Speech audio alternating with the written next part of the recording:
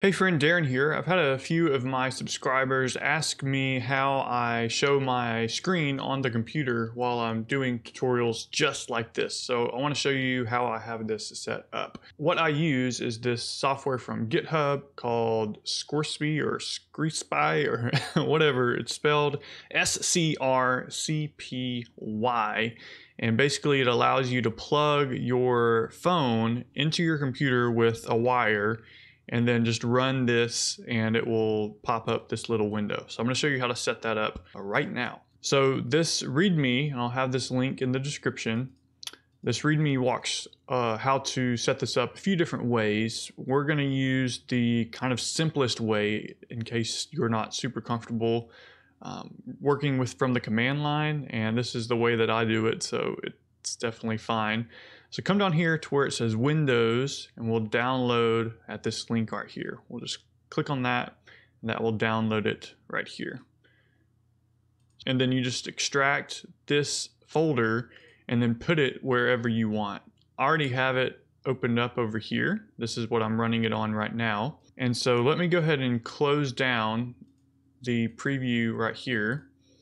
And once you have your phone set up, you'll want to come here and click uh, either the, the regular exe or the no console exe. The regular one will open up a terminal window, which you might not need. So you can just exit out of that. I use the no console. So you can just click on that and that opens up the screen. Now, if it doesn't work, then you probably don't have your phone set up to where it can be read by this software. So on my Android, I go down from the top and I go to my settings. And then you want to look for right down here developer options. You can uh, even search for it, you know, search for developer options. Mine is right there. Now, if you don't see this, then you need to turn on developer options, which you will likely need to do if you haven't done it before.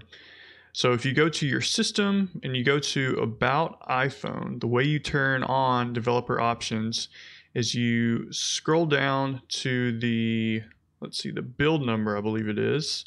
And so we'll just tap on that and you think you're supposed to do it seven times. And as I'm tapping on it, it's saying developer mode has already turned on.